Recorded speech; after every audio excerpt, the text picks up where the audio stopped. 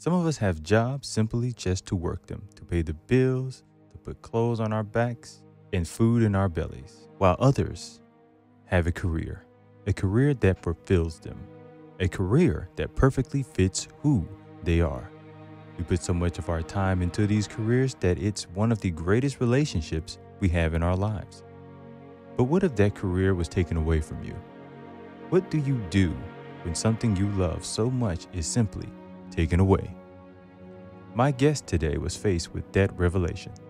My name is Crystal Romero.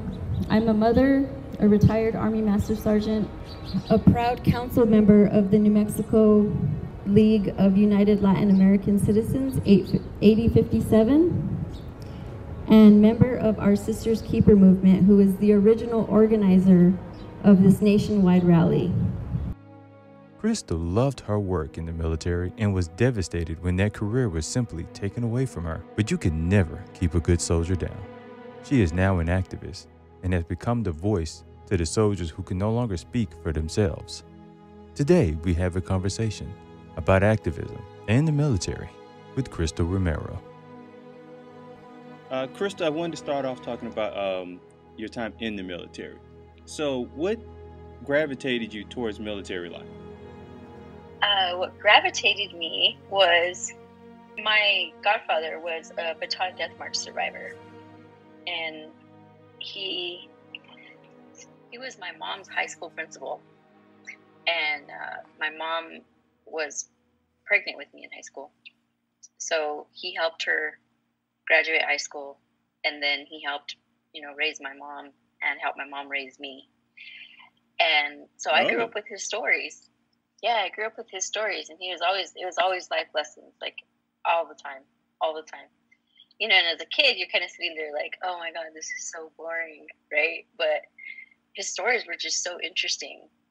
I mean, he taught me about like you know just like resiliency and stuff like that too because as a Bataan death march survivor you know they endured a lot of torture so um his his strength really was what it, i was just like man i want to be a soldier and he told me i remember i was probably like eight or nine he says he told me that i was born to be a soldier because my birthday is march 4th and soldiers always march forward. So oh, like, okay. I liked it. Yeah. Yeah. He's like, you were meant to be a soldier. He's like, that's why you were born on March 4th. He would tell me that all the time. And um, so I just, I, I believe that. And I, that's what I wanted to do. So when I was 17, I was like, all right, cool. I'm of age now. I'm out of here. and I joined. So you knew probably like like at what age were you like mentally set at like I'm going to the military? Oh, I was like eight years old. Ooh, pretty soon. I mean, maybe yeah. So, did you know any other women that were in military like, before you joined? Yes, yes. Matter of fact, uh, when I was in fifth grade, this was during Operation Desert Storm. My class, my class, uh, we were pen pals with um, a deployed female lieutenant, and she was from where I lived in Taos, New Mexico. She was um, Native American, and I think I want to say she has some Spanish in her too. Um, but anyway, so I was her pen pal for her whole deployment, and she would send me like I still have like the money that she sent me, like with Saddam's face on it. Yikes. Um, yeah, I still have it. And um, I, she was just so like encouraging, and she would talk to me about. We talked about all kinds of stuff. Like I asked her about, you know, like how does she grow up, and because she was from Taos, where I was from, and you know, I grew up in a poverty situation so I'm just like, what was it like growing up for you? And it was just like having a best friend, except she was like 20, she was like in her 20s, and I mm-hmm. was in fifth grade. So that just further validated me wanting to be in the military because I was like, see, she did it, so I can do it. I know, like, um, I know in, when I was in high school, I took ROTC for like a year. Uh-huh. probably less than that because I was very, I very much was asleep a lot in high school. So, like, was uh, ROTC something you took? Oh, I barely remember high school. I was barely. I. I I didn't really go to high school.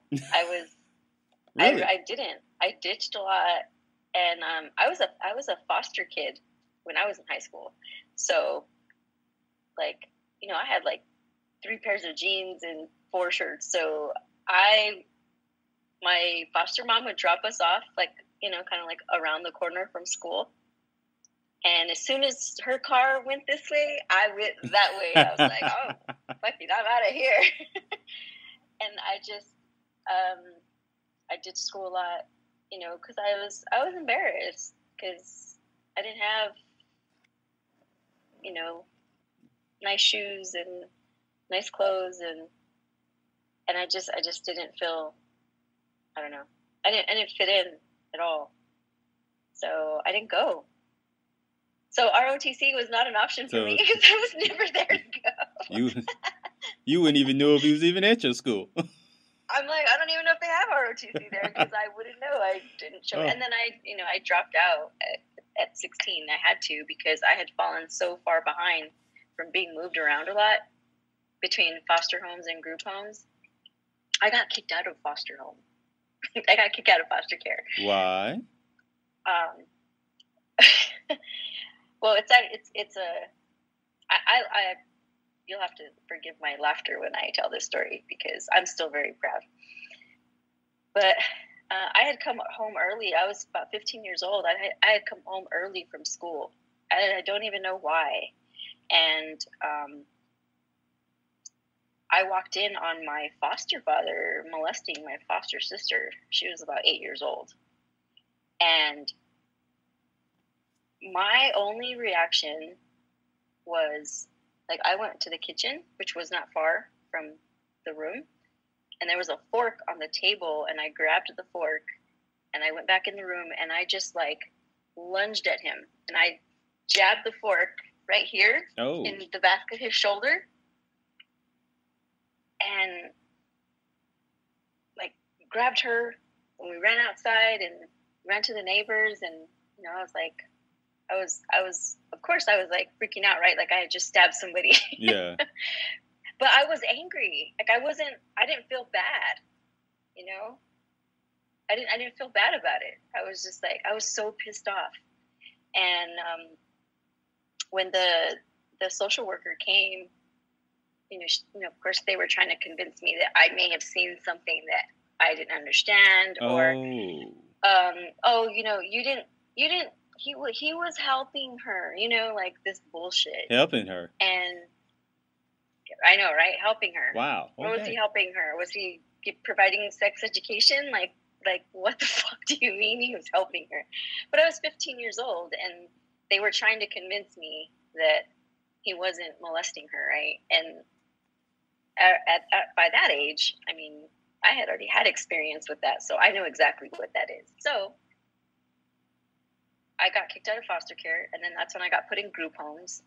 And then that's just like survival of the fittest. Yeah, I learned how to fight. That's when I joined a gang. and I was just in the streets all the time. I mean, I was a runaway because, you know, we run away from the group home because it sucked being there. It was like, you never knew, like, if you were going to get jumped in your sleep or, you know, the it was a co-ed house. So the boys were always stealing my underwear from the hamper. Like, it was just, it was. I was going to ask was the- why would they would steal your underwear, but I probably don't want to know that answer. You already know the answer because because men. So I, I, I think I have an idea. But now I'm kind of you might you might have an idea. Yeah, but like that's the shit that you know what. Oh can I- yeah. can I Oh, you can bad curse as much as you want. Oh, okay. Whew, sorry. I have I- to ask. Sometimes I get probably on- should have told you that before. No, shoot the shit. have asked. Yeah, we're just Yeah. So, but anyway, so I I spent very little time in a classroom, and you know, from age fourteen to sixteen. So I just um, the state put me through a program. Like I have a high. It's it's a it, it's in, I don't- even think it's a GED. I, think, I mean, it's just like it's a high school diploma and I got it at through the University of Highlands University, and it was a program first for the state for foster kids. So I don't know, interesting. But I, I dropped out. Either way, I dropped out. I wasn't in school, and um, I got a job at Dairy Queen, and I made some money. I filed for emancipation, and I got emancipated because I, sh- I showed that I could sustain myself. And um, I was I was just waiting to turn 17 so that I could, you know, make more adult choices, I guess. And a recruiter came to my work. Uh, I was a cashier at Walmart, okay. and he's like, "Hey, you seem real nice. you want to join the military?" I was like, "Yes, yes, I do. Where do I sign?" Can I leave tomorrow? You know, I was I was ready to go. I was ready to go. So, um, and I loved it. I loved it. I really did. Um, basic training was fun. You know, okay, I, I okay. A, See, I don't usually hear people say basic training was fun. It was fun. So what? What's so like? What? What about basic training? Because you'll see it in like movies, or I hear friends talk about it, and it sounds like hell. Okay, it is hell. It is hell. Absolutely, it is hell. I hate it every. I hate it every day. Like every day at three fifteen, when the, you know, when you're woken up by flying trash cans and lights flickering on and people screaming. You know, yeah, you tend to not like it. But, you know, I grew up like I'm a street kid. Like I, I I'm used to all the yelling and the fighting and the threats and the you know what I mean? Like people Yeah. stepping up to you and all that shit. And you know, and I wasn't I was I went through a lot of child abuse as a child. So like I had some pretty thick skin coming into the military already. So for me, it was like I needed that discipline because I was such a wild child, you know what I mean? And um, so I, you know, even though I, I didn't, I'm not going to say I enjoyed being yelled at, but it kept me in line and I was able to focus and, you know, take and, and take it seriously, right? There was no time to fuck around. It was like, it was all business all the time. And then as, you know, the weeks passed and, you know, the more people learn about each other, um, by like the second week, people who weren't going to make it have already, the most of them have already dropped off. And then, you know, you still lose people along the way, but for the most part, you lost them all in the beginning. So you've now, like, you've got this family bond. You're with each other all the time. There, and you don't go anywhere without a buddy.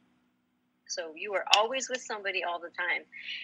And um, it, and for me, it was fun. Like I was a tomboy. Like I used to ride dirt bikes when I was a kid. Oh, Um, I, I had a little BMX bike. You know what I mean? Like I rode um, uh, dirt bikes. I had a little Kawasaki 250. um, you know, I just I like adrenaline. You know, I, I get adrenaline rushes, and that's to me that's like exciting. So it was fun. You know, doing the obstacle courses. Like, oh man, that stuff was so fun. Um, you know, now people just sit around and watch Ninja Warrior on TV, and it's like, I got to do it. My It grandmother so loves fun. that show, and I'm like, I can't do fun. any of that stuff. And like, you know, in, in basic training, I got to shoot a claymore mine. Right? What is that that? was fucking badass. A claymore mine, yeah, that was fucking badass. Okay, you know they they teach you the weapon system, so you know you go through each one. You got to learn how to like take apart, you know, your rifle, your you know the machine gun, the 50 cal.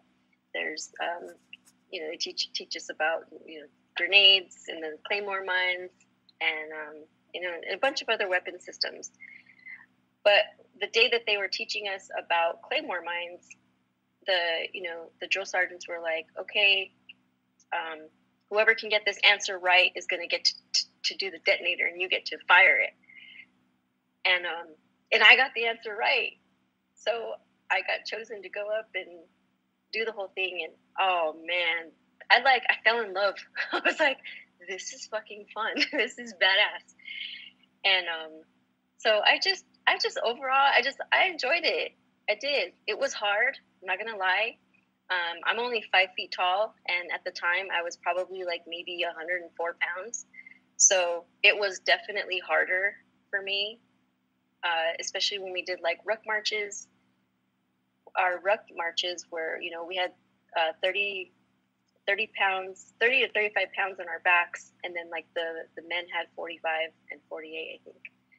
And um, you know, 12 miles with that much weight on your back, and I only weighed 102 pounds. You know, it's it took it did a lot to your body, but um, I was young. I was young. I was, you know, I was 17, 18 years old when a lot of that development happened. So it just made my body really strong. And I was able to do it. I was able to keep up. Uh, oftentimes, I would be put in the front because it's always like the shortest person leads, right? Because we've got the shortest legs. Okay. You don't want, a, a, you know, how tall are you, Kevin? I'm six feet. Oh shit! See, now if you were leading the ruck march, I would be running. I would be jogging. You know what I'm saying? Yeah. Like for every for every one of your steps, it's like probably three of mine. Oh yeah. Two of mine. Definitely. Yeah. So, so I was always in the front because I was always the shortest, and um, so there was a lot of pressure on me too, right? Like, all right, Padilla, that was my my maiden name.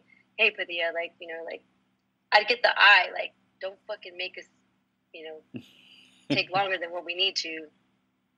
So there was all this pressure to just, you know, do things right. And because that's like all eyes were on me. So uh, I think that that helped to make, just to make me stronger as, you know, mentally and physically. And um, by the time I got to my advanced ind- individual training, which is AIT, that's the school where you go to learn your specialized job. I had it down. I was I was very confident in uniform and was very confident in you know in being a soldier. And from then on, it's like it, it, it is what you make of it. You can hate it. Um, you know, you can be resistant and you know make things harder for yourself, or you can take your job seriously and you know adhere to the values that they teach us and you can have a really good career. And and i i i can honestly say that i i had a really good career you know up until up until it was you know it got there at the end and it just all went to hell. But for that first 16 years i did everything that i would that i was i had set out to do you know i wanted to be a photographer and uh, that was like the job that I wanted, but my scores uh, weren't high enough because you know, I mean, that's photojournalism. So, mm-hmm. and I didn't have very much of an education, so I didn't score very high on the ASVAB, and um, so I went in as supply, and I worked in supply, and I did, but I learned logistics, and um, and about the and, and I was also an armorer, so I learned the, all the weapon systems, which was really cool too. But after um, you know, my my first commander had told me, she says, well, if you stay in this in this MOS, your um, logistics for at least two years, you know, get some experience under your belt, you know, get the feel for the military, then you can apply to be a, you know, transfer to be a photographer.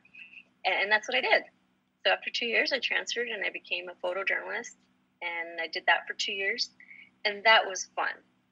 That was fun, Kevin. Okay, like I so what do, things were you would, like taking photos of in the army?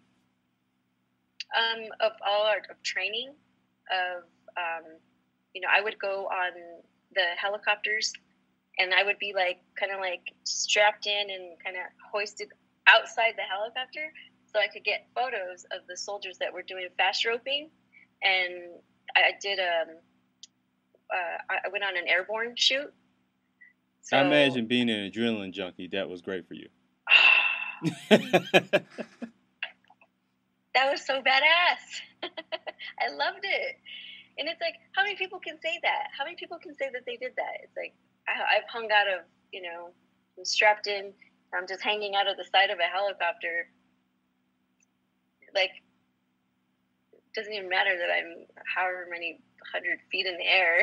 it's like I was like so excited to capture, you know, the shit that you see in magazines, and I'm like, hey, that's my work. And a lot of my work was published. I was the, um, I, you know, we had a magazine for our state. You know, every every unit has like a public affairs, so it was cool to see my work in, you know, in newspapers. In I did uh, a lot of marketing for the state, so I designed a lot of the billboards and stuff. The you know the marketing billboards. Yeah. And then um, I also di- designed our state National Guard license plate when I Oh. was 20 years old, and it's still being used today. So if you sign up for the National Guard, they're going to issue you a license plate. I designed that. So, like, it was, it, it was, a, it was a really great experience. Um, I was on assignment as a photojournalist when I got recruited to the Weapons of Mass Destruction Unit. Um, I was, I had attached to them for two weeks so that I could, photo, uh, you know, photograph all their training and to do a to write a story about them and do a unit history like who they are and why they existed and you know these these units stood up as a result of 9-11 because they're homeland security units okay they're full-time national guard homeland security units Okay. i say homeland security because then people can understand that we're strictly just for the united states you know we didn't deploy overseas because there's overseas deployable and then there's just you know within the U.S. people that serve within the U.S. Um, and that's what the National Guard does for the most part. You know, we're like humanitarians for our homeland. But um, anyway, I was on assignment, and the uh, the commander was a colonel, and he was really tall, really funny guy, but like real serious. He um he's like, hey, he used to call me. Uh, he, my nickname was uh, Walking Tall. Walking tall, Right. and yet you're five feet. Walking tall, yeah. He's like, hey, walking tall, get over here. And he's like, would you like to join our unit? And I didn't even have to think about it. I was like, you know, I had just spent about a week and a half with them. And I didn't even have to think about it. I was like, absolutely, yes, I do. I was like, yes, yes. And went back to my unit um, and talked to my commander and said, "Hey, I would like to transfer over to the 64th Weapons of Mass Destruction." And of course, like my commander was kind of like mad, right? He's like, "What? You just got here and you're like one of our best photographers. Are you serious?" And I'm like, "Hey, man, this is an opportunity, and I can make sergeant, and you know what I mean. There's like all these things attached to it."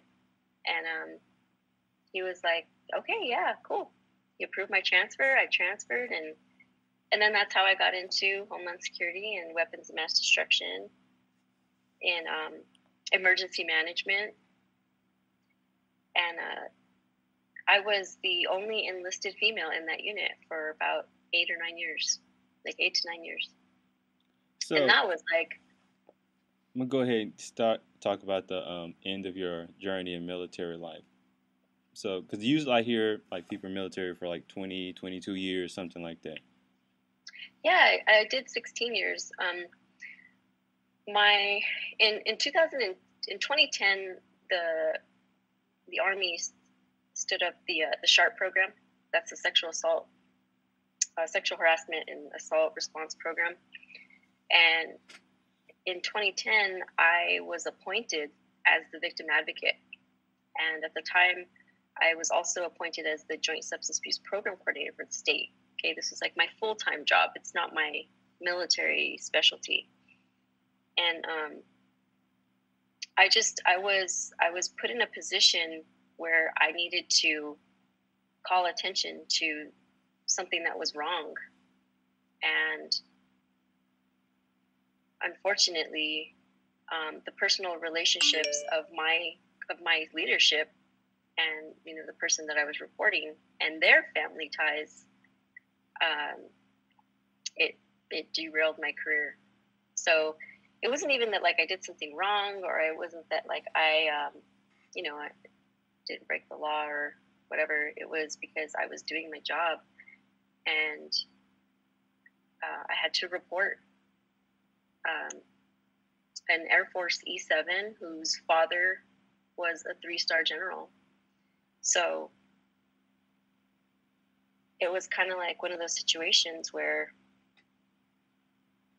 and I had talked to my commander about it, you know, to, to the to the colonel that I reported to full time, and I said, I said, you know, what, it's not right. It's not right that nobody's willing to do anything just because of who they're related to.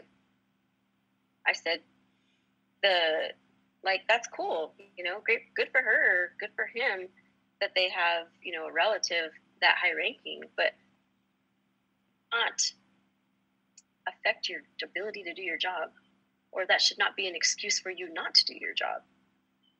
You know, a lot of people take advantage of that, and um, you know, it happens everywhere. It happens everywhere in corporate America. You've got the father is the CEO, and then Oh, the yeah. son is like the pri- the president, right? And the son's like a spoiled rich shit kid, like I think Sorry. Biden's son is in trouble for something now. oh, I know, right? Something about a laptop. Hmm, I don't know. yeah, it, yeah, that that happens all over. It does. It it does, and and that's unfortunately my what happened to me. That was it, and um, I filed a whistleblower, a, Department of Defense whistleblower complaint because I was um, facing retaliation and harassment and intimidation, humiliation. I mean, you name it. They just they just took their decision making process to the extreme. It was kind of like, we're not just going to ruin your career, we're going to ruin your life type of situation. And what's sad is that I am exactly where they put me to this day. I was discharged for PTSD due to hostile work environment. So my I have an honor I got an honorable medical discharge, but I only had 16 years 3 months, so I no longer qualify for my army retirement.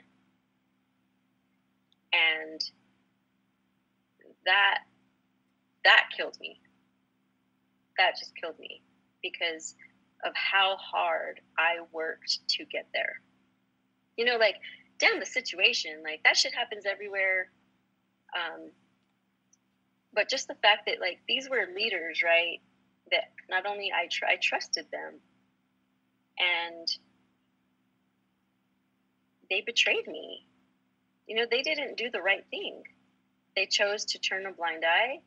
They chose to um, protect their promotions and career instead of supporting me in my decision to, you know, um, counsel my subordinate. And um, you know, I was I was the I was that person's supervisor.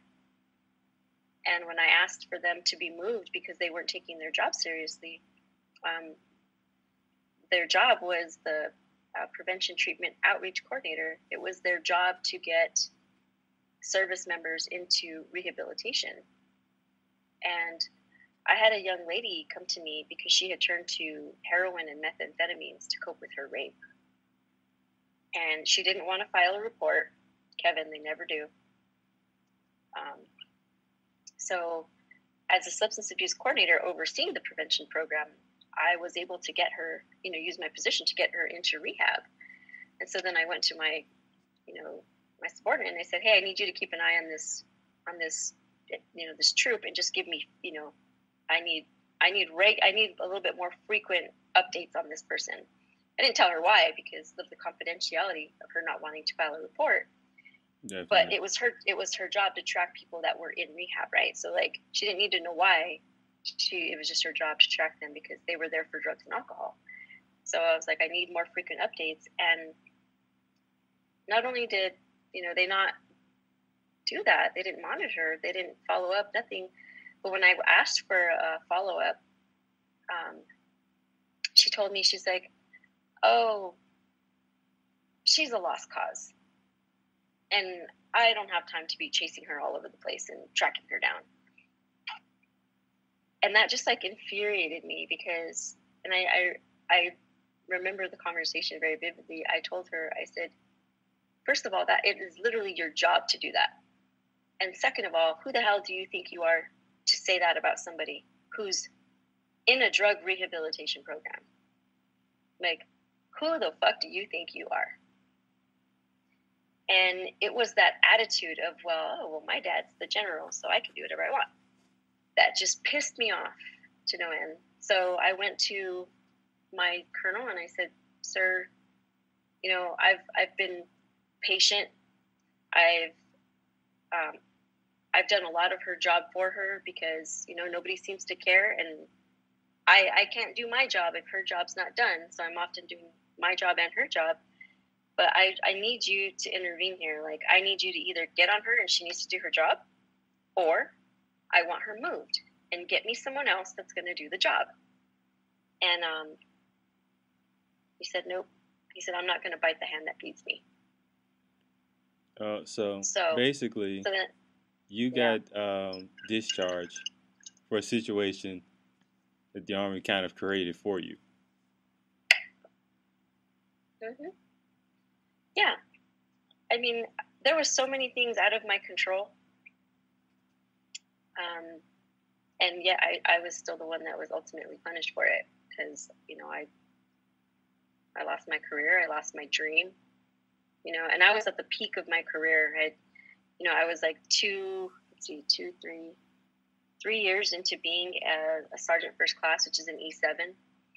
And there's nine enlisted ranks. So I was at seven. And I was, I had just, um, you know, I was completing my platoon sergeant time. So my next position would have been first sergeant. And I was ready. I was ready. I was excited. Uh, I loved my troops. I really loved my job. I loved uh, being able to, to even just you know getting to know my troops too. Like my squad leaders were hilarious. They were hilarious. They made the you know I'm talking about like the the shit details, like yeah. the shit details that you just got to do like they made it fun, right? Because they would be they would be the ones that like would be telling the jokes to get people laughing, so that we would forget that we're doing some mind some stupid bullshit, filling sandbags. you know, it's like okay, everybody's got to go do maintenance on the Humvees for the 80th time this weekend. I mean, you know, there's a lot of times that you're doing a lot of things that don't make any sense. Trust me, it is there. But we always we're having fun doing it. You know, there's always some sort of enjoyment out of the hard work that you had to do. And um, I had a lot of really good leadership throughout my career. I had a lot of uh, senior people that mentored me and poured a lot into me, uh, sent me to trainings, gave me opportunities so that I could advance, you know, in my career, uh, sent me to civilian schools when I was in the weapons of mass destruction unit, uh, we would go, we would attend co- uh, college universities uh, to take, you know, like analytical chemistry and you know, airborne diseases, microbiology. Um, we would go to like radiation training in Nevada, and um, you know, just a lot of the training that I received, the opportunities that I had, I never would have seen any of those things had I not joined the military and um, even my education. I mean, I have so much education; it's ridiculous, and certifications. But I made the comment earlier that I'm right where my leadership put me because of my disability. I'm 100% disabled, permanent total. Because of that, I can't collect a salary. I can't get a job, which is why I do volunteer advocacy work. Because I I've got all this education and training, but I can't use any of it. All I can do is just kind of sit around and hang in there and you know whatever and and that's a really bad place for people who have uh, complex post-traumatic stress and depression to be you know because i don't know if you ever saw that interview with chester from um, Linkin Park and he said that uh, he's like this is the this is a bad neighborhood and, oh yes i've heard that yeah, he's like, this is a bad neighborhood and I should not be left up, up here by myself. And that's, that's how I, I mean, I can relate to that because oftentimes when you just when you have a lot of time on your hands, you tend to think, and sometimes your mind can take you places where you you don't want it to go, and it can get real dark. So that's the reason why I'm so active in my advocacy work, and even with uh, appealing my case. I've been appealing my case uh, for 10 years. Actually, no, eight years. I've been appealing it for eight years, but I've been going through it for 10. And, um, now, is that normal? Right. Oh, yeah. There's people that will wait 20 years for an appeal. You know, it's, I, uh, it's like the delay, delay, delay until they die. kind of like how the VA um, processes the disability claims. I mean, you've got veterans. Yeah, that's what I was thinking for, of, actually. Yeah. Oh, yeah. The same way. You've got veterans that have been waiting for 12 years for an appeal for like 10% of their disability. I mean, it's not even, it's like a big jump. And uh, it's ridiculous. It's, it's, it's truly absurd how we have to fight for our comprehensive health care. So, you said, you um, basically you had all these skills that you learned and don't have the ability to use, so it made you lean into volunteering advocacy. So, like, what like what was the first kind of um, like situation that kind of led you that way? Um, what led me to doing this advocacy work? Yeah. Um, it was in 2020 when uh, Spe- uh, Specialist Vanessa Guillen went missing. I saw her. Uh, I follow uh, Latinos in uniform on Instagram, and her face popped up on the feed, and I was like, missing. So you know, tapped on it, and I'm reading that you know she's been missing. She was a she was a supply GAWA supply, and you know her stuff was found in the arms room and then they just marked her AWOL, and I was just like, what? Like none of it made sense. It smelled so bad, and it's like talk about like being triggered. I was just I was triggered, and I was triggered in a way that all that rage and all that anger that I had, you know, that I carried with me when I was when I was pushed out, you know, I had kind of just compacted it down. All that just came out. And I used that energy to do the advocacy work for that first two years.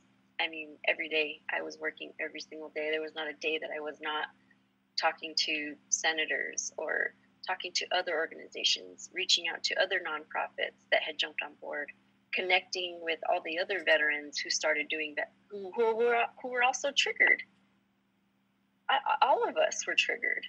I think every female veteran was triggered. Was triggered. You know, whether you're active duty or retired, or you know, you only served two years, or you only served for five. It doesn't matter. It was so relatable because, you know, I put my myself in her shoes. Like, okay, when I was 20 years old, I worked in a supply room. I worked in an arms room. And I'm like, there's no fucking way. There's no way that that happened, that that happened, that that happened. And I'm just like, they're covering this shit up. They're doing what they do instead of accepting responsibility for poor leadership, for poor decisions made by leaders. They chose to just cover it up still to this day, there have been no arrests other than that one female, the the girlfriend.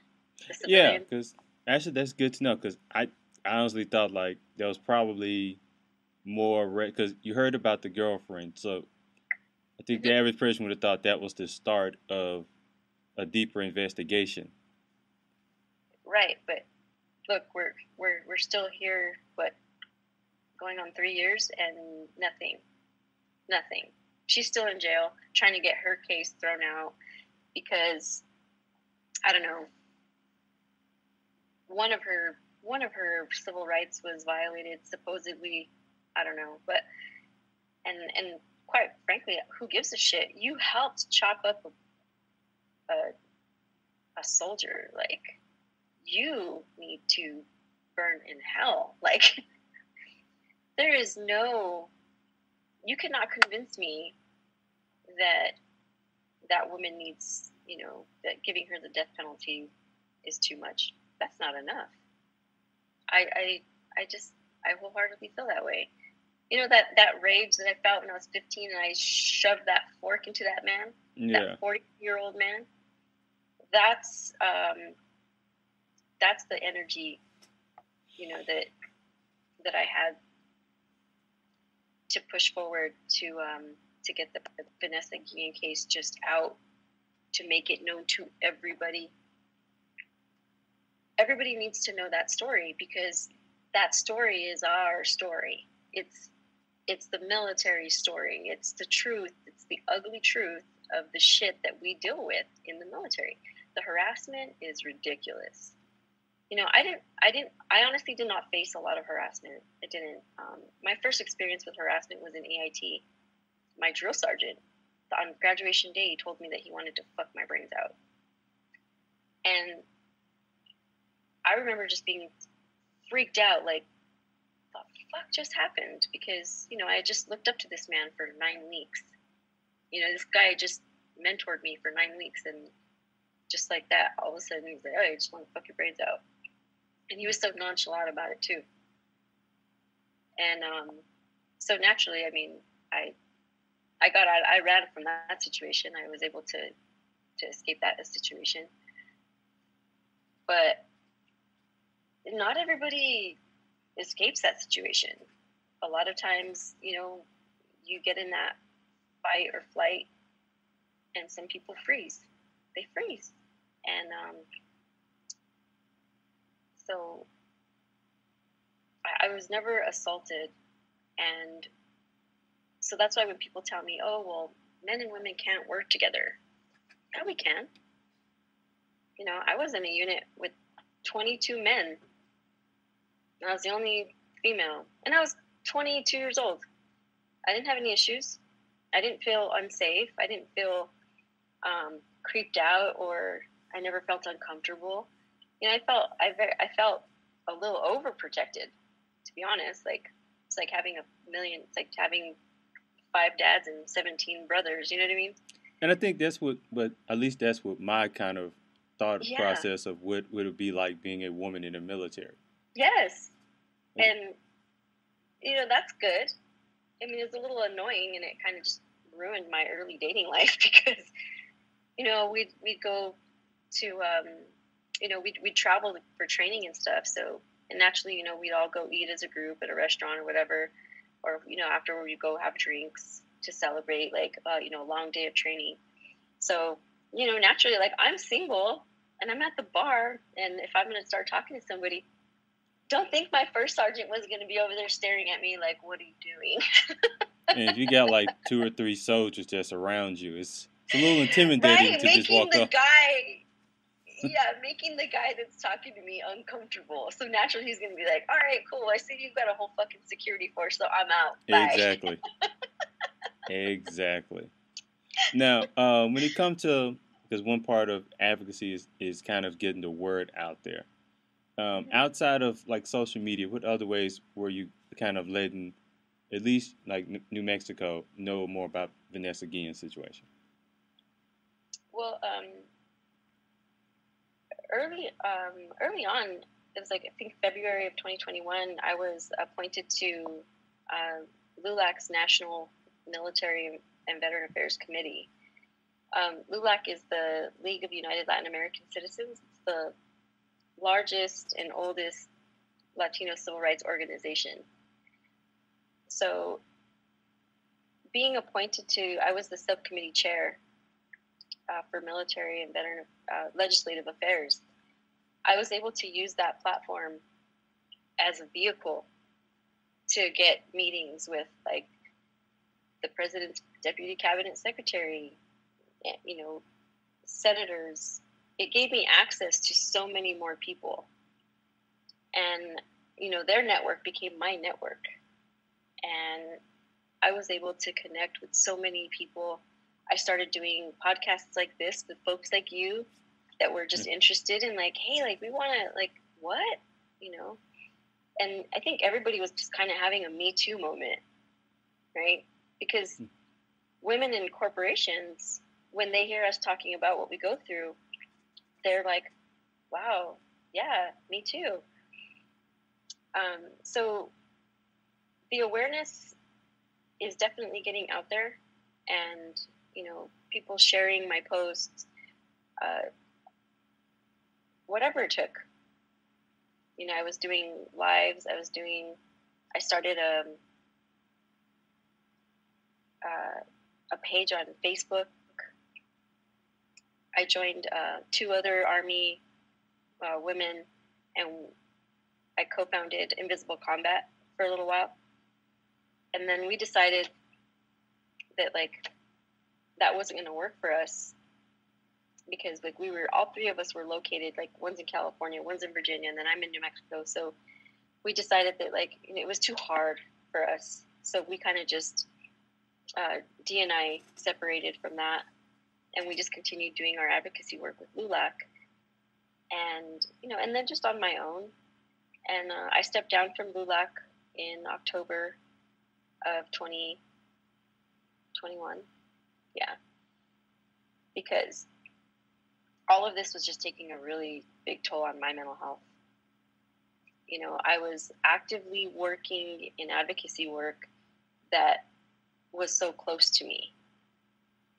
You know, I suffered from, um, I helped pass the Brandon Act, which is a suicide prevention bill, and I poured a lot of my personal self into that because telling my story about how um, I was, you know, dealing with the harassment and retaliation and humiliation and intimidation that I went through with my command, I was extremely suicidal, extremely suicidal. Losing my career made me extremely su- suicidal and so every time I go do do these public speakings, you know, I'm I'm sharing my experience and I'm reliving it. And after a while, that just it just really tears you down. And I had to take a break. You know, I had to like reset. And um, it's like, okay, take a break, t- take a deep breath, you know, come up for air, and then when you're ready, jump back on it. And that's what I did. I took a break for a little while, and then I'm back on it now. And I'm back on it now, and it, and my my mentality is a lot different because over the last two years, I've done a lot of work with my trauma, like a lot of work, and um, that's another positive thing uh, that that came out of something so awful.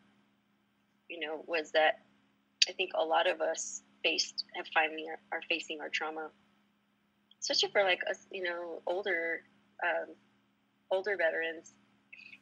I'll just speak for myself. I know people get offended when we say they're old, yeah. but um, you know, but for me, I it gave me an opportunity to look back, you know, bird's eye view, and to look at the big picture and be like, okay, I see where this went wrong, where this went wrong, how it went wrong, and um,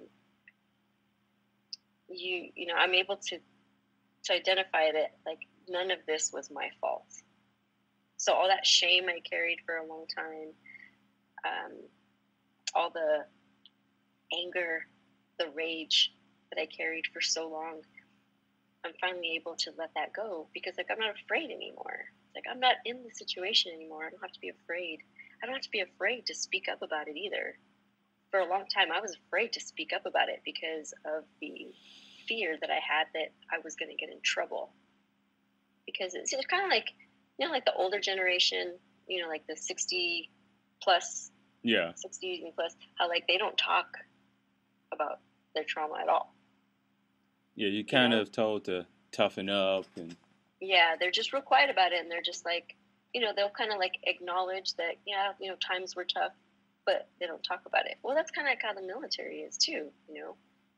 We don't air our dirty laundry out to the public because we're so proud. we're, we're, we're very proud. And what that's done is create just a toxic culture. It, it's created a toxic culture and it's really weakened our organization as a whole because there's no trust. There's no trust, and when there's no trust, there's no respect. And if you don't have respect, you're not going to have discipline. When you don't have discipline in the military, you don't have a strong military. So, um, I think that we're at a time right now where we're all taking a good look at ourselves, and some are acknowledging, and some aren't. So we'll just see where it goes from there, I guess. But we're gonna have to figure it out. so, do you think, like, with this time, uh, I guess with social media being as big as it is, the Me Too mo- movement, do you feel like the country is more because you hear a lot of instances where women have talked about certain abuses that they've had, like mm-hmm. if this, like if you if this situation would have happened, let's say late '80s, do you think it would have been harder for you to kind of get people to get people to kind of pay attention? It did happen 30 years ago. Um, look up Tailhook. There's a huge, huge, huge scandal of I think there was like 80, 81 or 83 women, um, military women assaulted over a weekend at a conference at a at a officers conference in Vegas. Yikes! Yeah, it did happen thirty years ago. And I'm so, just now hearing about this. Oh, I know, right? Yeah, look it up. Tailhook. Just that's all you got to do. Tailhook, and articles will pop up, and it's it's a um, it's kind of like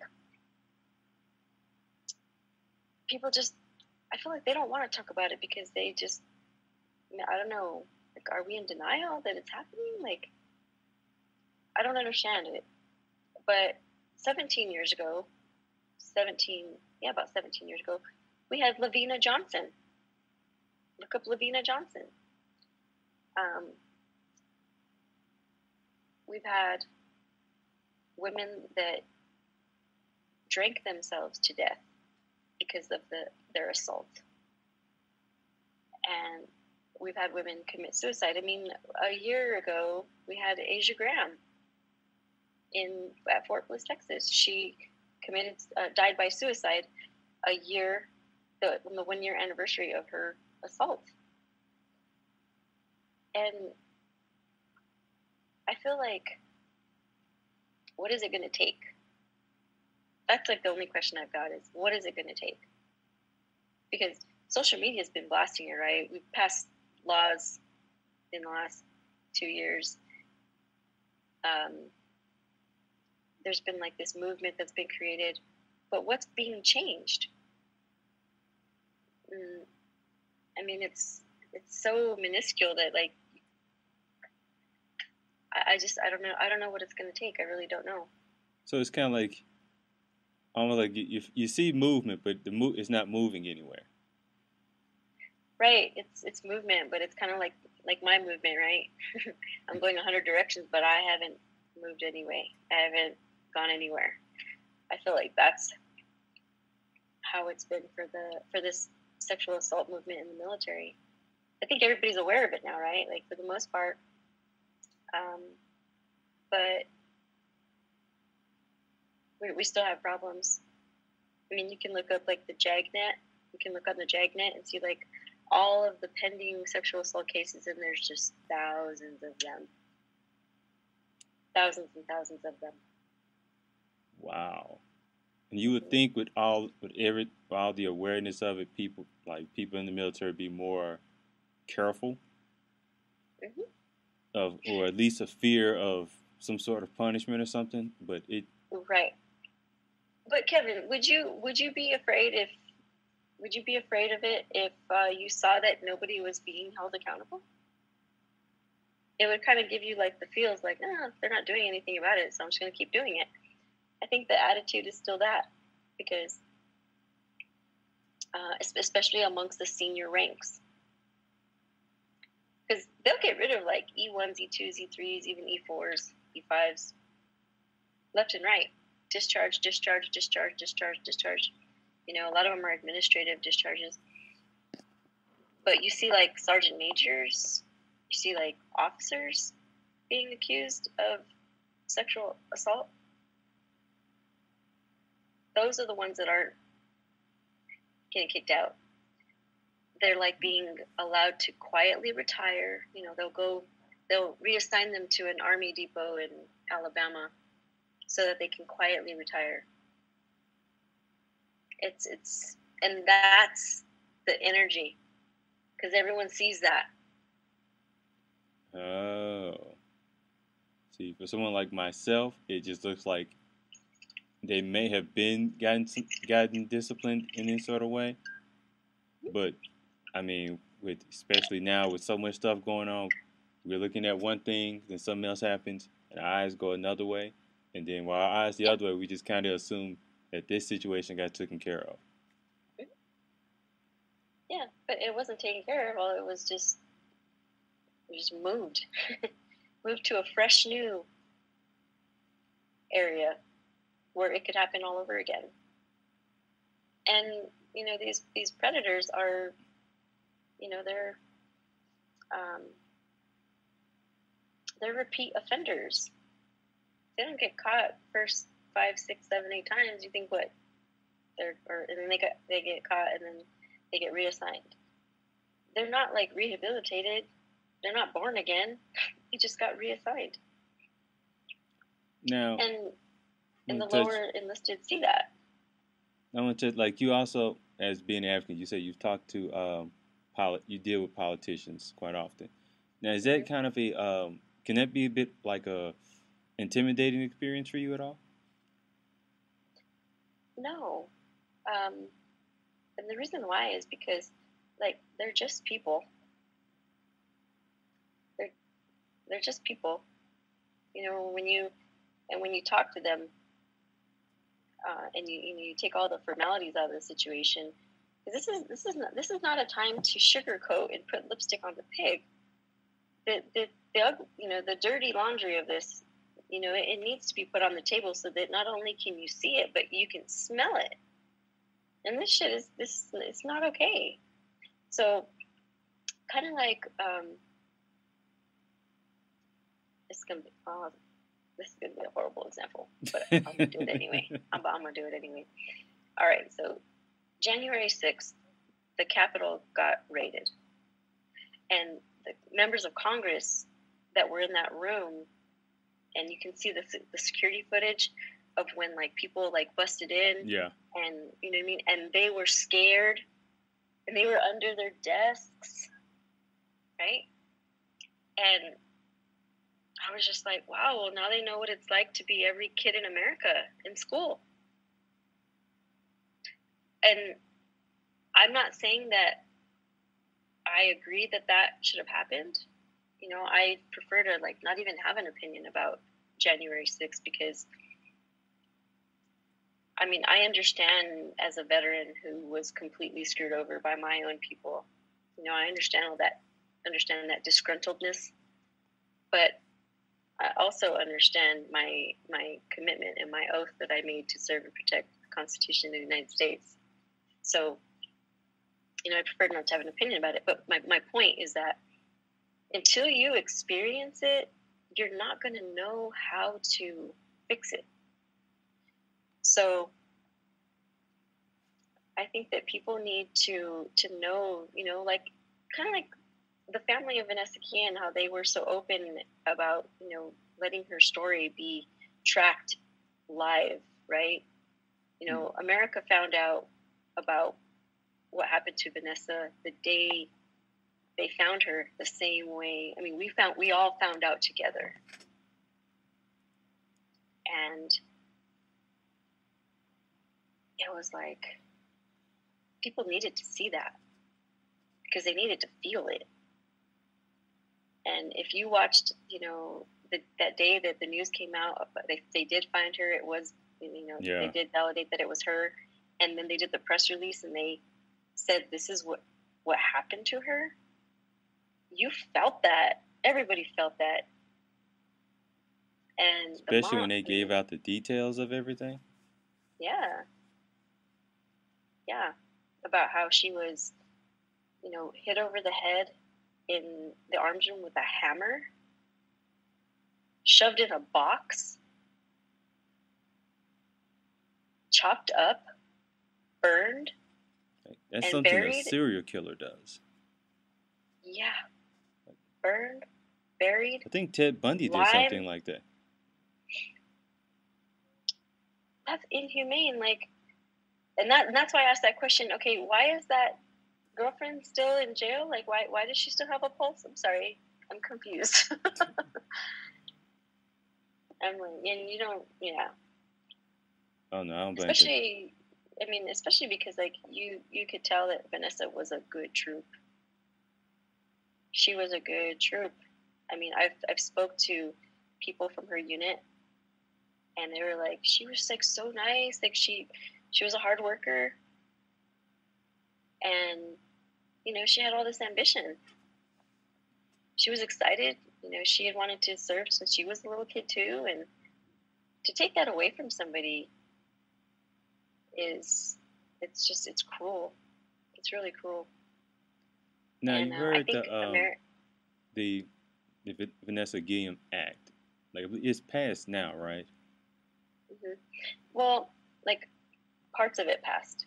It was it joined the Military Justice Improvement and Increasing Prevention Act, and um, so in in my opinion, it was watered down.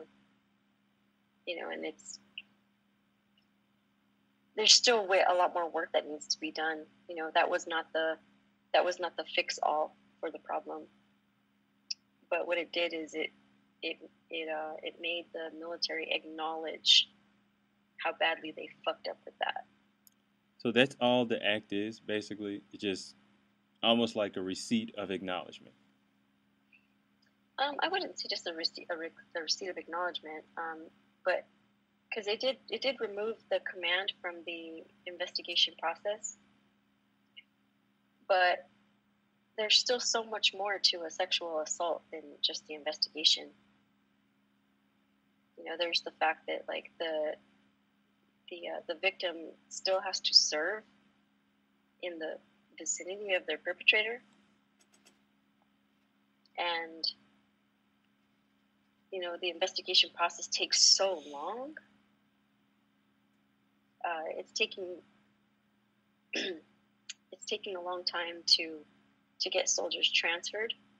You know, it's supposed to be an expedited transfer, but they're like taking 40 days. There's nothing expedited about a 40 day transfer. You know what I mean? Yeah. and and we still have problems amongst the uh, sexual assault response coordinators because there are some they're called sarcs there's some um, sexual assault response coordinators out there that are the are the actual perpetrators or they are protecting their buddies that are the perpetrators. I had a situation just a month and a half ago uh, an e5 young lady from romania she was stationed in romania uh, reached out to uh, found me through the I have like a I have a little underground operation going, but she found me on Instagram, not my not my personal page. I have a, an anonymous page set up, and she told me that she was she had gone to the SARC to file a complaint, and that he was trying to convince her not to file the report because he knew the guy. He knew the guy, and he's like, "Oh no, he's a good soldier. If you do this, it'll ruin his career." It's like, no, if he he ruined his own career by sexual harassing someone, so that's a problem. You can't you can't report a problem to the problem. You see what I'm saying? So if you were making like the um like a perfected version of this bill, what would all be in be in this?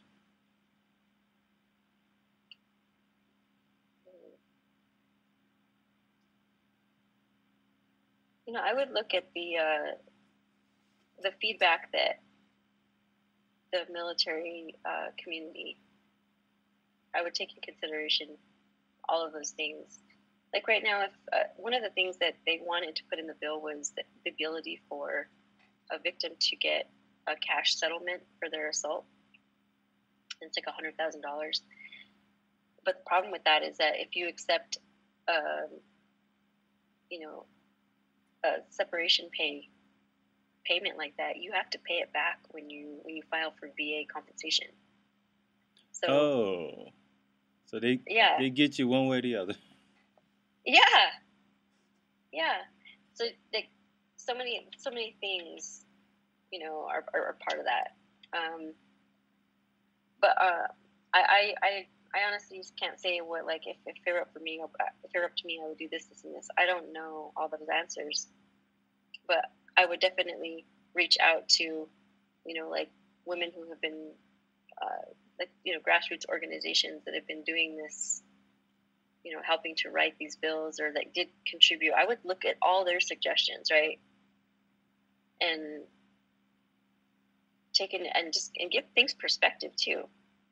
Think about it. You know, you got to like really put yourself in the situation where is this going to hurt or help the system. So, but definitely taking the command out of the investigation process was huge. I think that the situations need to go completely out of the out of the unit period, out of the state. So, Out of the who do you think should do the investigation? Um, a, probably like a CID agent outside of that base.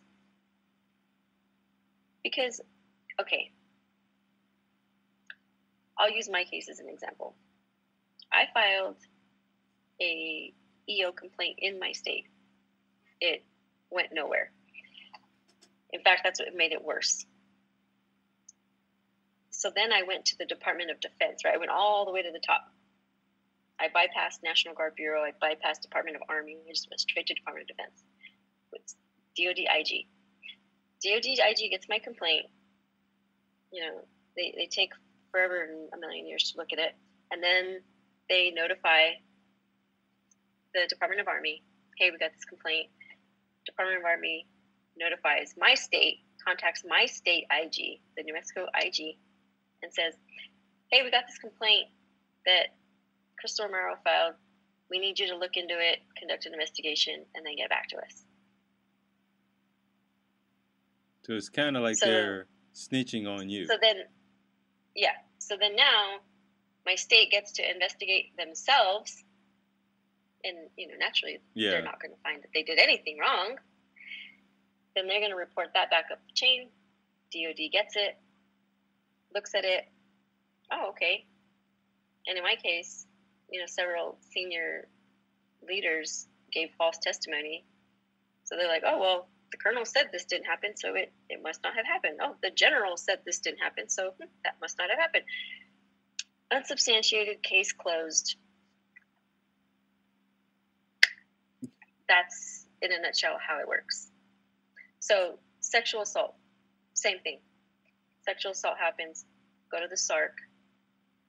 The SARC then, you know, they've got protocols that they've got to follow, whether it's a rest- a restricted or unrestricted report. Um, you know, military police will have to get involved because, like, a, a military protection order, it's kind of like a restraining order, will have to be put in place. You know, we might need to move the victim, we might not need to move the victim, we might need to move the perpetrator. They usually don't move the perpetrator. But then it's like, but then the um, the command is notified, and then they they assign an investigated an investigative officer. But the officers are all peers. You know what I mean? Like yeah. so, if I get something and you and I are peers, and I got to investigate you, and like you and me are homies, how do you think that investigation is going to go? and you see you see something like that in in I think we probably mentioned this before in all types of industries. Like so, I never understand why you have somebody. I've never heard a, a a situation where a person had or a company or an entity has to investigate themselves, and they're like, "Yeah, we fucked up." Like that, they rarely ever hear that. no, At best, you'll get there was a misunderstanding. Oh yeah, oh yeah, oh yeah. I was told that um, because I, I reported a HIPAA violation. I was told by like a medical professional, uh, the state surgeon, that it was a learning experience. Oh. Wait, did they tell you that, or is it like in a document written somewhere? Oh, it's written. It's See, that written would somewhere. infuriate me. Oh, oh, trust me. Oh, trust me. I wrote. I wrote it. Uh, you follow me on LinkedIn, right? yeah. Okay, so just a couple of days ago, um, I'll go tag you or I'll send you the post. But I wrote about my HIPAA, my HIPAA violation experience. So read it and give me your feedback because, um, you know, and the reason why I share my story is because I need people to understand that it's, it's and it's also a way of like vindicating myself. You know what I mean? Because people need to understand that, that there's a lot of abuse of authority that happens within the military you know and these these commanders just feel like they're above the law like they can just do whatever they want because they're the commander. And it's not right. It's not right when it's used for bad. It's not it's not right when it's used for you know to cover up situations. I mean there's there's times where commanders have to make decisions that are going to make a positive impact. And usually usually those just you know those decisions are you know can, can benefit the organization. But when you purposely cover up wrongdoing all it does is just leak more poisonous fluid into the pool you know what i mean? Like it just weakens the organization. And we're creating our own mess we're, we're creating this toxic environment. We're doing it to ourselves because we're choosing to take the path of least resistance instead of facing the problem. Like you said, acknowledging, oh, okay, just acknowledge that you fucked up. Like, what's the worst that's going to happen, right? Now, do you think that, um, like telling your story, like, have you gotten any push pushback at all? Like other military members, like maybe gaslighting you a bit on your DMs or something like that? um, no, honestly, I've gotten a huge positive response. Um, a lot of, there's even a lot of like um, senior officers and general officers that follow me on LinkedIn and have um, messaged me on LinkedIn and said, you know, I really appreciate you sharing your insight because it's it's giving me perspective on on situations that you know might come my way, or um, or seeing it from your perspective really put into um, you know really gave me a different thought process. It made me think. I, I've been told that my posts are thought provoking, and and that's really what it's about you know because i'm not out to slam anybody like i'm not out to ruin anybody's career um, do i think that the, off- the officers in my situation should be punished? Absolutely. Without question. I mean i think that at minimum they should you know even though even though they're retired i think they should lose rank which means they will lose pay. Absolutely. Um, So even like in retirement, they could if they lost or can can you lose rank while retired? Um, because they're um, officers, they can be recalled back to active duty to stand court martial.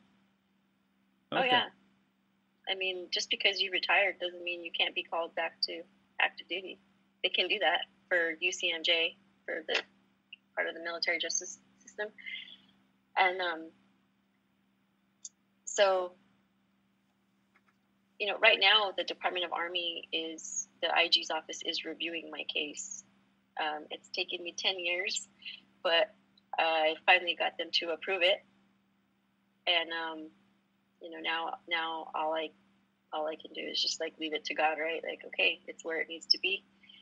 I've given all the facts, and there's no way that they look at everything that I've presented and say, yeah, we made the right call. There's no way. Now, you telling your story is it somewhat of a um because you you say you deal with PTSD and everything. So does that help you with that as well? Is it kind of like a free freeing for you? It's very cathartic. Um, because, like I said, I'm able to look look at things now, like you know, take a step back and look at it from as a big picture, right? To, and I can see that it wasn't my fault. Because at the time, when everything was happening, I was made to believe that everything was my fault. You know, even even how I was acting at the time. You know, when I was going through all that, I was, I, oh, I hell yeah, I had an attitude. You know, hell yeah, I was um, very aggressive or, you know, um, probably displayed uh, some disrespect here and there. But my life is literally being torn apart right in front of me, and I was just forced to take it. I remember being verbally reprimanded by a colonel in front of a of an air uh, an army colonel in front of an Air Force E9 sergeant major, and he yelled at me. He told me that I was the most unprofessional NCO he had ever met, and he was mad at me because I wouldn't lie during an evaluation being conducted by Guard Bureau. I had brought to his attention that his um, personnel, the lieutenant that worked in personnel, had had pencil whipped some numbers and had you know, and I said, I, I was like, it's not right. And when I run my reports, it's going to show on my report. And then, and then what? Right? Like, Yeah. and um, he he says, you know, he had told me, uh, don't point anything out unless it's brought to your attention. It's weird wordy. And I'm like, I'm sorry, but I'm not going to comp- I'm not going to compromise uh, or dishonor myself or my integrity for you. Sorry. But because he so conveniently outranked me, I had to stand there and take it. I couldn't say a word. I had to stand there and listen to him yell at me, telling me that I was the most unprofessional non-commissioned officer he had ever met. And all that did was just make me so angry. But I couldn't do anything right because he, he outranked me. I had to stand there at attention and just take it. So if you heard this So- um term like uh absolute power corrupts absolutely. I'm sorry, say that again? Have you heard of this um this phrase? I forget who said it, but it's like absolute power corrupts absolutely. Mm-mm. The ba- uh, basically the premise of it is give somebody power, they'll tend to use it to their benefit. Oh, wow. I had, yeah, I've never heard that before, but yeah. So how true would you say that would be for military? Oh, very much so. There's a lot of um, senior leaders that use their rank as a shield and use it as, you know, a key to open whatever door they want. But also, there's a lot of really good leaders out there that that don't do that and that really do um, orient to their troops and you know for to build a better force so you know it's not all it's it's it's like anywhere you go. You know like when you talk about the police talk about how the police are so corrupt right? Are they? I mean not every single police officer is a douchebag. And um, not every single person in the military is a douchebag. Do we have douchebags? Yes. But think about how we recruit okay? Let's think about that the military go they go into the lowest of income places to find their recruits. You know they go into like you know the barrios with, with their $50000 enlistment bonuses and you know wave it in our faces like hey come join the military we'll give you $50000 and you who's never seen $50000 in your life um, because your family makes probably like 30000 a year and that's like your entire family that do know that's how they that's how they that's where they go to get a lot of the recruits. So what what else is in those neighborhoods? Gangs, drug dealers, rapists, thugs. You know, there's there's good people in those communities, but there's also bad people, and um, if the military doesn't break you of all those things and you know turn your life around for the good then you go into the military as a criminal. You know there's criminals like the have you heard that phrase do you want to go to jail or do you want to go home? Oh yeah. Well it's like do you want to go to jail or you want to go to the military? You know a lot of people are given that option. So of course they're going to go to the military. So great, now we've got like a, a guy that just committed a crime in our ranks. So yeah, it's it, it's it's a lot to think about because there. I mean, how do you prevent it, right? Well, they're not going to start recruiting from public from um, private schools. They're not going to start going to the private schools because yeah. those people, those parents are like, hell no, stay away from my kids. And fifty thousand dollars don't mean much to them. Hey, right? Like fifty thousand dollars. I give my kid that uh, as an allowance every year. yeah, those kids go to West Point. ah. yeah. Now let me ask you this: Have you uh, thought of kind of like some activists have gone to try to take like political positions? Is that something you've thought Um, about at all? I have absolutely no desire to do that. no, thank you. Uh, not at all. So you don't see Nope. any you don't see any situation that would lead you to that. I'm sorry. I just nope. No, thank you. You know what? Like I, you know what? I like being an underdog. You know what I'm saying? Like I like being able to move, uh, be you know, be a little free agent. I don't like being controlled by institutions, by money, by um, beliefs. You know, the right or the left. Um, I've got uh, family that's in Congress, and I just I see how it I see what it does. I see how it works, and I'm not interested. So there there'll be no Mayor Romero in the future. oh hell no! you didn't even like the sound of that. nope. So nope. as I wrap this up, uh, I wanted to ask you just um, kind of about the military. Do you still miss it at all? Oh my god! Every day, every day. I do, absolutely, and and that's and that's where a lot of my depression comes from. Is that you know I do I, every day I grieve the loss of my career. The you know the military to me was like my love of my life. It was it was where my happiness was. It was where my safety was, my security. Um, and you know that was it was all ripped away from me and especially because i wasn't able to reach my goal i had set a goal for myself that i was going to be a command sergeant major and i was well on my way and so i do i miss it i miss it so much So, um, what goal do you have for yourself now? Um, right now, I'm just trying to keep myself from going over the edge. My goals now are to keep myself alive, to keep myself going. My goals now are to, um, it's my job. I've got three young ladies that I've got leadership development to pour into. And so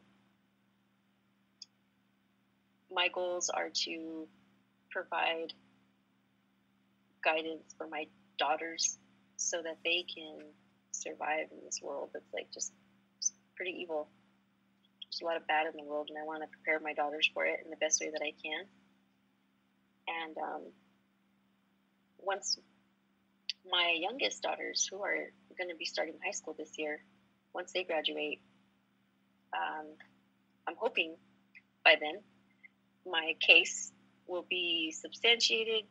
Um, I can go ahead and correct my military record. Uh, the restrictions that I have will be lifted. And then I would really love to do philanthropy work. I would love to do that. Um, it's always been something that I've done. Even when I was in, I was always raising money for my troops because, like, I get it. I mean, nobody knows the struggles like the people that started at the bottom. And I know what it's like to be a single parent and have three kids and have a career to balance. And um, so being able to create, you know, programs and and help those people out would be like really fulfilling to me because I know how much like I would have appreciated it and how much it would have helped me out. Right? It's like being a single mom. It's like, man, come on, one thing could be easier. It's so oh, yeah, nice. You, you've got a full plate. Yeah. So that's what I would like to do, and um, and also one other thing that really makes me happy is traveling. I love traveling. I want to get back to doing that. Uh, it's been two years since I've, you know, made, made an entry in my blog, and uh, I'm like, I want to do that again because I just I love seeing other cultures. I love seeing other, you know, just other people's way of thinking, other pe- people's way of, you know, their beliefs, and you know, just learning about other just other cultures. It's always just fascinating to me, and you know, I respect it. So I'd like to do that. But um, but mostly, I'm going to stick with my number one goal, and that is to continue to work on my trauma. You know, processing my trauma, um, owning it, and learning how to um, control my triggers and stuff because you know my triggers are my responsibility. And my mental health is my responsibility. So right now that's just the biggest thing for me is continuing to work on myself and making sure that I stay on the right track and and then and help other people you know uh, you know adapt and overcome and then go help other people get through it. That's really how we how ultimately how we've all been keeping each other alive like veterans. I mean the, the military community we really do rely on each other to keep each other alive. Uh, whether it's through humor whether it's through retreats whether it's through groups whether it's through um, you know podcasts all that stuff right it's keeping that connection it's the power of connection so being able to be a part of that and you know give that out is is it's fulfilling.